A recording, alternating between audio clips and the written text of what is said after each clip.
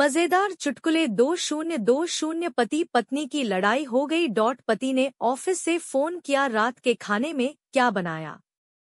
पत्नी गुस्से में जहर। दम है तो हँसी रोक कर दिखाओ। हिंदी जोक्स। एक औरत रिक्शे से गिर गई, उसकी साड़ी ऊपर हो गई, एकदम से उठकर बोली, देखी मेरी फुर्ती रिक्शे वाला। लेकिन मैडम हमारे यहाँ तो इसे फुद्दी कहते हैं।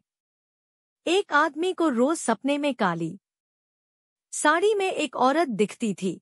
उसे देखकर वो घबरा जाता था। एक दिन उसने हिम्मत करके पूछा, देवी कौन है? औरत बोली, मैं। आप। हिंदी कॉमेडी चुटकुले। कैसे कहूँ?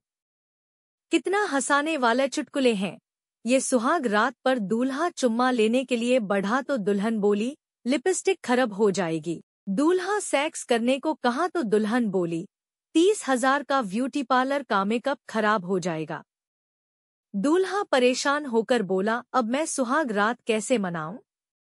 दुल्हन बोली, एक सिपाही ने मौके से थानेदार किया डॉट जनाब, यहाँ को फ़ोन। एक औरत ने अपने पति को गोली मार दी। थानेदार, क्यों? सिपाही क्योंकि आदमी?